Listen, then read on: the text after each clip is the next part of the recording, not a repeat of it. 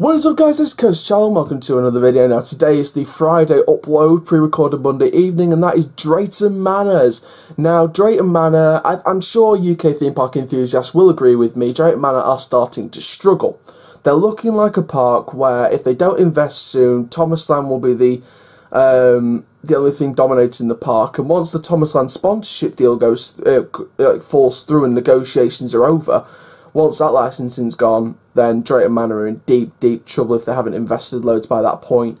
Um, some of you may agree with me, some of you may not, but in my opinion, Thomas Land's the only thing driving this park at the minute. There, there are some great rides, but I haven't been since 2009, and that pretty much tells to you what I believe for this park. Yes, they invested in Ben 10 Ultimate Mission, which became Accelerator in 2017, originally opened in 2011, which is the Vekoma Family Boomerang, and they've invested in other great rides such as Air Race, but it's the greats like Excalibur I used to love as a kid, Pirates Adventure I loved as a kid, it was one of my favourite dark rides in the UK, one of my favourite dark rides in the world, but now it's just slipping down the rankings because I've done new dark rides like Derren Brown's Ghost Train at Thorpe Park. Some of you may disagree with that, but Derren Brown's Ghost Train is fantastic. The way it's constructed, the way it's created.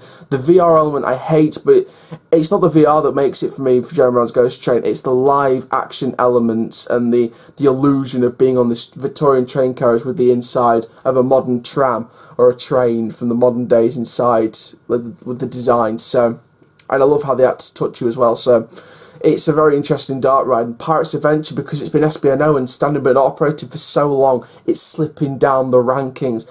And this isn't me getting on at Drayton Manor, this is just me giving some hard hitting facts that Drayton Manor just aren't cutting it at the minute. And all they've got is a de- they've got a decent theme park. It's not amazing, it's not extraordinary, it's not outrageously entertaining. It's decent for the UK, and that's not what we we we need the UK to showcase their parks to the best of their ability. And Drayton Manor is just not up to that standard at the minute right now. Um, they've got some great flat rides. Don't get me wrong. Apocalypse at Drayton Manor, the the big drop tower from Intamin, that's fantastic. That's one of my favourite flat rides now that Ripsaw's been deconstructed. Ripsaw was up there when it was before it was deconstructed and I'm just sad that Drayton Manor's not getting to that stage. This Pirates Adventure needs, in my opinion, so this video is all about the future of Drayton Manor. What does the future hold for Drayton Manor? And I want to share five different ways they can do that. So, first of all, for Drayton Manor, spend a few years, five, six, maybe even seven years at, at least, minimum, not focusing on Thomas Land one bit. Maybe spruce it up a bit, give it some new paint jobs here and there every season, keep it nice and fresh, but don't add anything new to Thomas Land for a good seven or eight years now. Uh, between five and seven years minimum, maybe even more, because Thomas Land seems to be the main focus for Drayton Manor. I know they're going for a new family market instead of the thrill market, and that's kind of one of the main reasons why I think G-Force closed, as well as its bad maintenance, breaking down, can't afford to repair it because uh, they have to focus on the rest of the park as well. So I can see why they closed it for that reason. But again, they're going for a more family market. I get that, but don't focus on Thomas Land. Add some new family rides that's not Thomas related in areas of the park where they desperately need rides. That comes on to my second point. Reopen rides that you know are going to get the job done in terms of bringing in guests, bringing in families. Pirates Adventure does that. Excalibur, it's had its time, but maybe if you put it like close off the site, put a building inside, and do like a dark ride experience in there, that would be a perfect site for another dark ride, as well as reopening Pirates Adventure. One year where it should be the year of the dark rides, reopening, refurbishing Pirates Adventure to keep its Pirates Adventure, but refurbish it so it's nicely spruced up. New animatronics, maybe even a new story. I know when they refurbished The Haunting, uh, it was a few years ago now, 2015, 2016, around about then. Um, you know, they did a fantastic job with that from the reviews that I saw and from the images that I saw compared from old to new.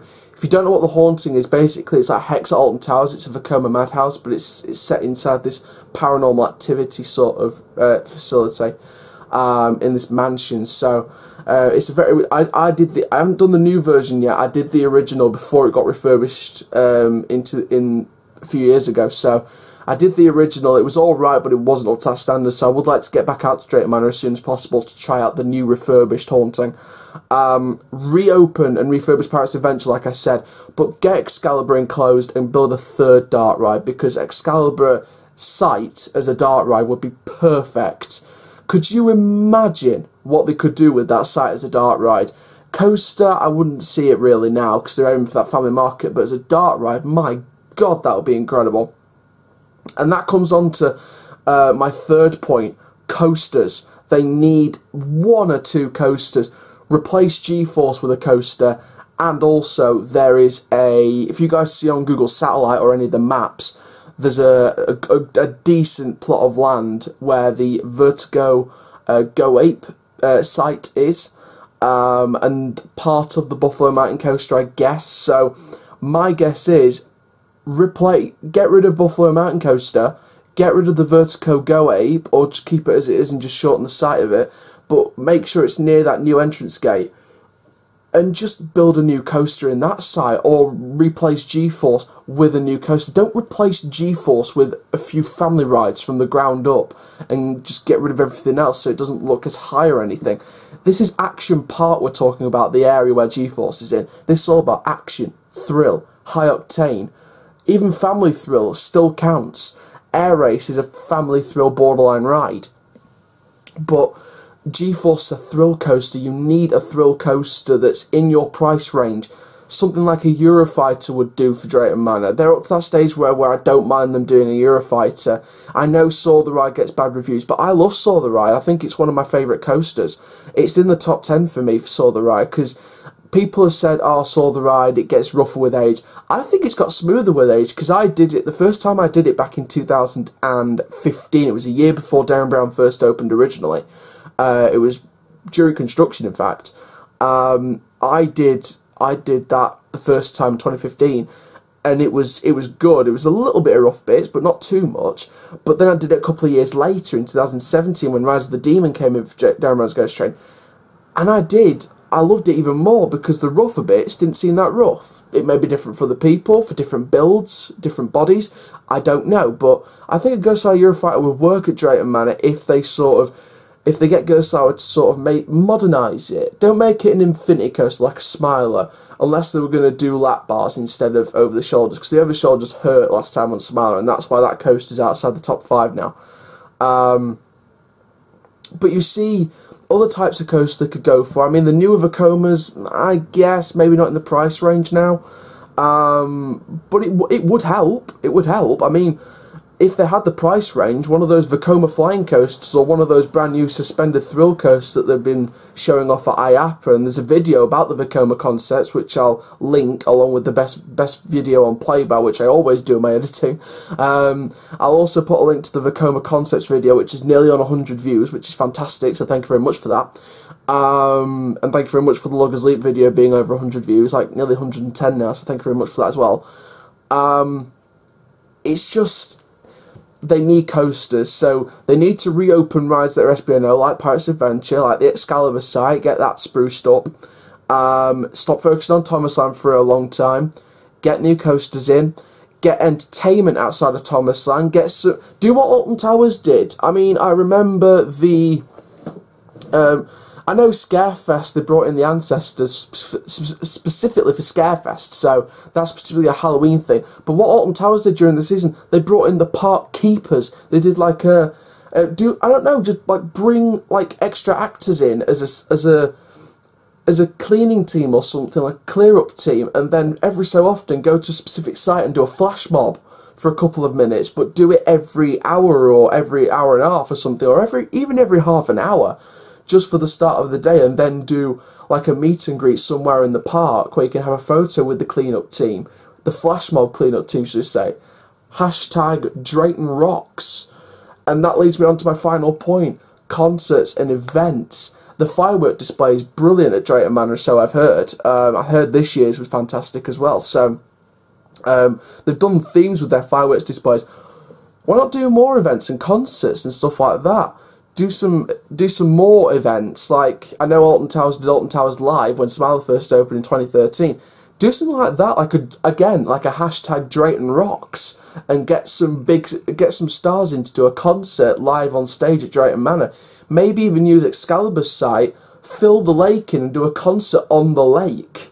How cool would that be? If they weren't going to do Excal- Excalibur's site into a dark ride, do it as an amphitheatre space and create more entertainment. So there's that, that's five ways that Drayton Manor need to improve. New entertainment, new coasters, don't focus on Thomas Land, reopen um, current rides.